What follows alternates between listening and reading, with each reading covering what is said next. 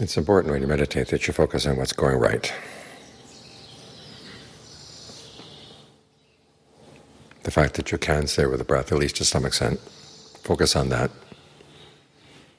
and give yourself pep talks. Because you've got to clear a space here in the mind. And it's done by building on your strengths, giving yourself some confidence. Because you're going to be dealing with some very negative things in your mind as the questions of insight come up. And so you need something on your side.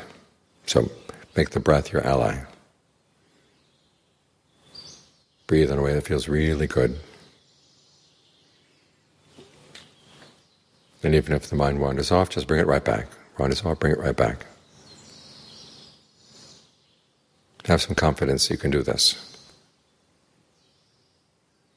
One of the questions I received at the Zoom meeting the other day was from a woman who's been able to develop some concentration, but she's concerned that the thoughts now are uh, nibbling away at the edge of her consciousness. And she's not focusing on them, and she's afraid she's not going to get any insights. And I told her, eventually you will invite the thoughts in, but first you've got to create a safe space inside where you are in charge. So they come in on your terms. Otherwise, if all you can focus on are the negative things in your mind, it doesn't stop there. You start getting negative about yourself, and from being negative about yourself, you get negative about your surroundings and negative about the people around you. It doesn't lead anywhere any good. After all, the whole point of the Four Noble Truths is that the cause of suffering is inside. We need to comprehend it, but in order to comprehend it, we need to develop the path. Otherwise it's going to overwhelm us, suffering and the causes of suffering. So focus on your good points inside. Focus on what you can do.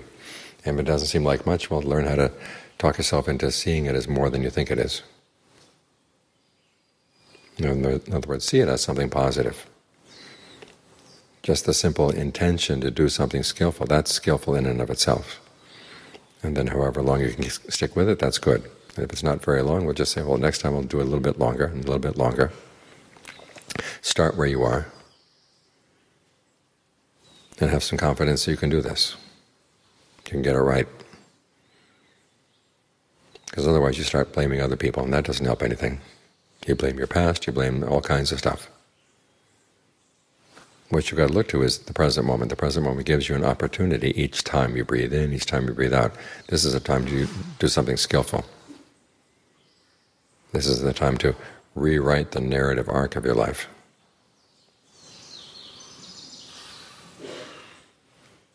So focus on the positive inside.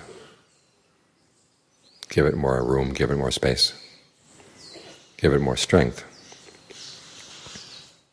and then you will be able to handle the problems that come up. The Buddha doesn't have you simply just jump right in and deal with craving right away. He has you build a path.